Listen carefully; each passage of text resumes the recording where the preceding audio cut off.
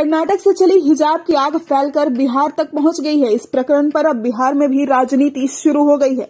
राजद मुखिया लालू प्रसाद यादव ने इस मामले में बुधवार को बड़ी बात कह दी है। उन्होंने मीडिया से मुखातिब होते हुए कहा कि देश गृह युद्ध की ओर बढ़ रहा है। अपने आवास पर पत्रकारों से बातचीत करते हुए लालू प्रसाद यादव ने केंद्र सरकार और बिहार सरकार पर भी निशाना साधा है। उन्होंने भाजपा को नया अंग्रेज़ बता दिया है। लालू यादव ने कहा कि यूपी में भाजपा की करारी हार होगी। इनका सफाया हो जाएगा। उन्होंने कहा कि इस बात के साफ़ संकेत हैं कि इस बार भाजपा साफ़ हो जाएगी। लालू ने कहा, हम जाट बिरादरी के वोटरों से खास अपील करते हैं कि भाजपा को हराओ। उत्तर प्रदेश के चुनाव में जो महाभारत छिड़ा है और जो व्याकुल और बुरी तरह से परेशान है भाजपा इस बात का साफ़ संकेत है कि भाजपा का विदाई हो रहा वहाँ। जाठ बहुल इलाका उत्तर प्रदेश और हरियाणा है।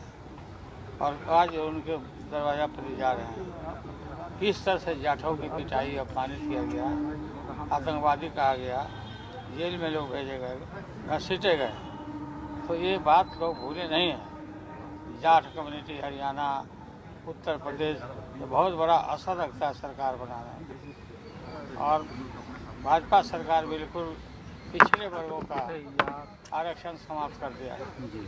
और धीरे धीरे समाप्त करते जा रहा है। ये देश सत्तर साल पहले अंग्रेज़, ब्रिटिश चला गया। सरकार ब्रिटिश आ गए थे। हम सब बारे में ने ब्रिटिश को भगाया था। और वो समाप्त हुआ। लेकिन अब सत्तर साल के बाद नया अंग्रेज़ ये सब आ गया भाजपा के रूप में। जी। जो दंगा फसाद करना चाहता लेकिन देश से माफ़ नहीं करे।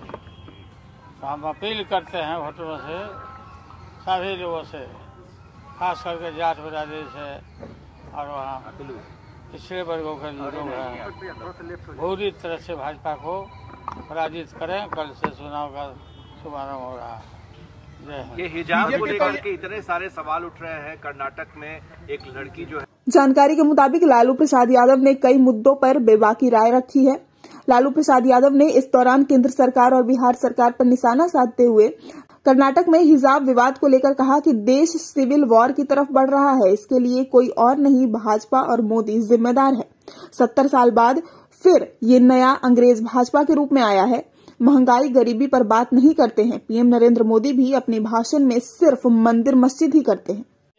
चुनाव की बात नहीं है इसमें। ये बात समझिए इसका देश सिविल वार मोदी जी की सरकार में सिविल वार। जिस तरह से उस लड़की को किया जा रहा है। और सिविल वार होगा तो इसकी जिम्मेवारी इनकी होगी सब कोई चुनाव लेकर के नहीं। वो तो गंदा बात रोज बोल ही रहा लोग। मुजफ्फरनगर तफराना तफराना। राम रहीम में दिन भर करता रहता है। तो क्या सिविल वॉर की तरफ़ ये पूरा? हाँ ये सब बताता है संकेत।